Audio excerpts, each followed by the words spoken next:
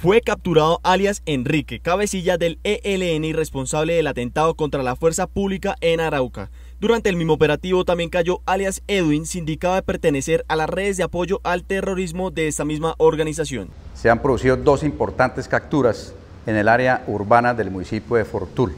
Una de ellas, eh, identificado plenamente como el cabecilla de la red de apoyo al terrorismo de la Comisión Omaira Montoya Nao del ELN y el otro un explosivista reconocido que este, entre estos dos miembros del GAO-LN habían hecho varios actos terroristas, especialmente en el área urbana de Fortul. Según el reporte oficial, alias Enrique es señalado de ser el responsable de ordenar secuestros y asesinatos selectivos en los municipios de Fortul y Arauquita y de realizar atentados contra la fuerza pública.